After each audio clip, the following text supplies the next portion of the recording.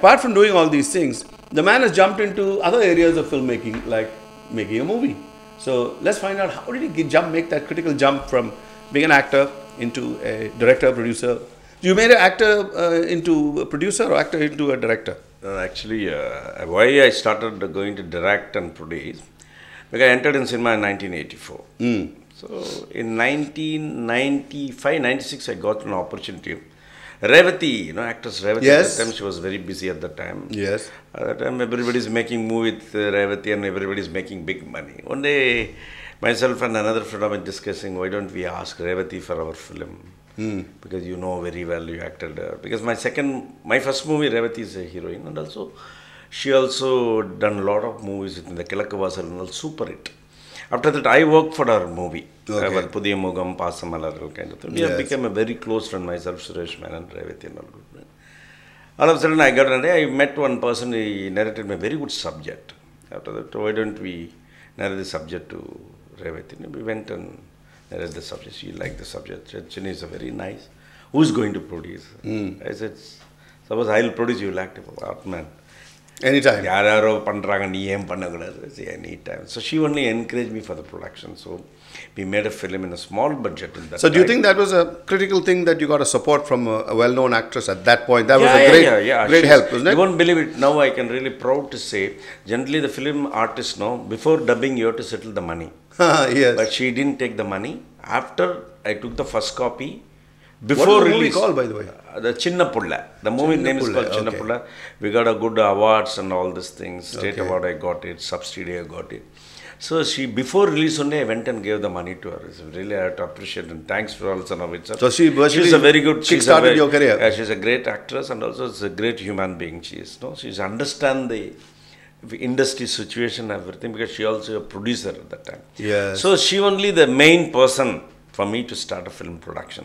Okay. So after 2000, no, in 2000, I got a good story. Uh, one love story, triangle love story. At that time, even some of the distributors, I narrated the subject of distributors. They Okay. said, Chinni, why don't you produce? We'll buy the picture. See, at that time and all, the film industry was very nice. The buyers was there. Okay. Buy uh, audio rights, they will buy. buy Yeah, all- yeah, all- even the people also, they will go inside the theater. While there is a no lot of Piracy and that, of- channels, okay. piracy, all the stuff is not there. So I got a very, we got at that time, we got a very good facilities, I can say that. Buyers will buy, television rights. Audiences will come. Yeah, audience will come. So a lot of things were there. Now it will become very congested, crowded, lot of co- economic So a lot of people used to say it's it's a wonderful thing that more people have come into the industry. Some people say it's a stupid thing. No, no, it's stay crowd. away. It's, it's crowded now. Congested, they say, no, it's a crowded. No, but there- there so is- Hmm. no, see, competition is always there. See, once the crowd will, like a marathon.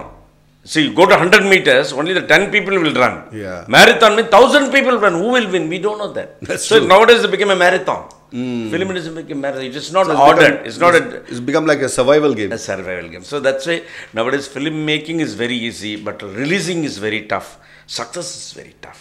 Making film is very easy because a lot of technical. Okay, in your estimate, Hmm. out of if you say all the pictures made in the years constitutes uh, 100 pictures, let's say for a number, Hmm. how many of them will never reach see the theater?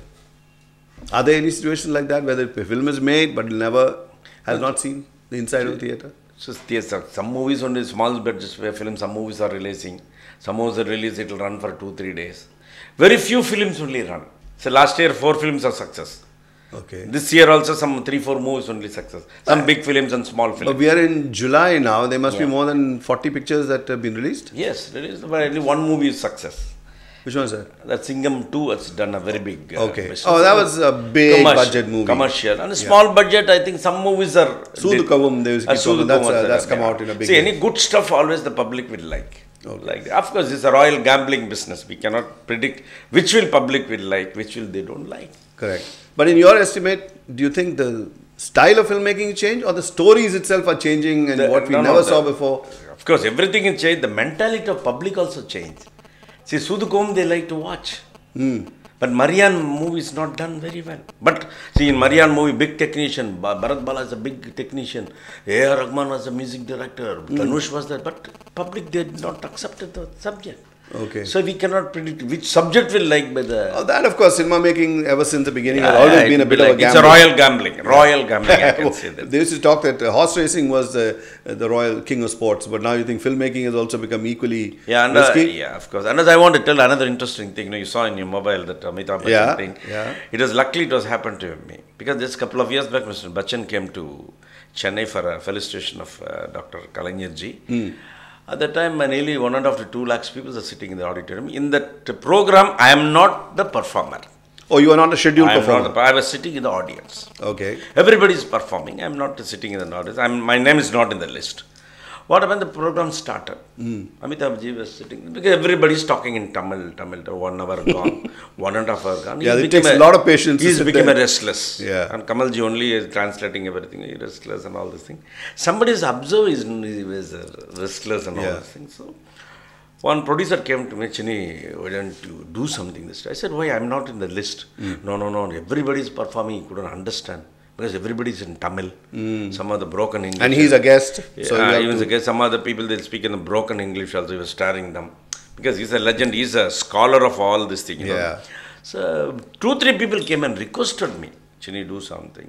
I said, I was a tabler, I was a round tabler actually. Hmm. So, remember, I used to speak a lot of uh, Hindi, the Chennai ka, mm. because I studied in New College. I know all Hmm. Oh, yeah, that. you're mixing with those. So, I know Urdu. Kya bache, bamdiya mata ki, kya, that kind of uh, Urdu. do, do you speak that language well? Yeah, very, बहुत अच्छी बात करते हैं क्या बोलते हैं Let's have a sample. I always wondered. That's the क्या बच्चे ऐसा. बैठ के क्या बमड़िया मत है तू क्या रहे कितने बच्चे चार घंटे चार घंटे का आना बोला तो क्या क्या चार फोर थर्टी होता है क्या अक्कल ही नहीं रहा तुझे This is the Urdu Yeah.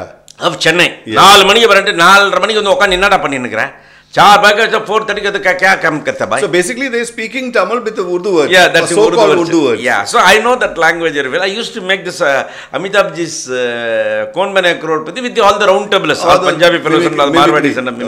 all, All the Punjabi fellows and all mimicry- Marwadis and mimicry. mimicry. Okay. So all of a sudden, this guy, was, this man was sitting. Why don't we do that? I went and did it.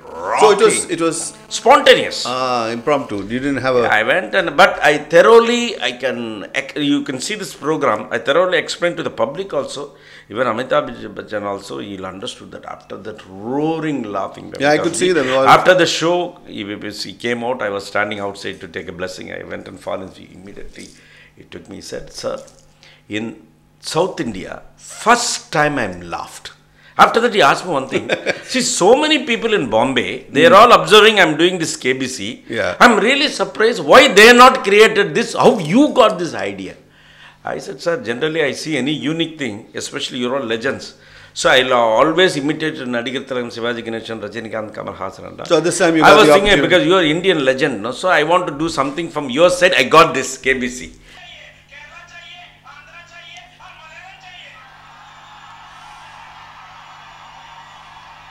Okay, folks, you just watched uh, a little bit of a famous performance that Chinni had done many years ago, right in front of, as you could saw on the screen.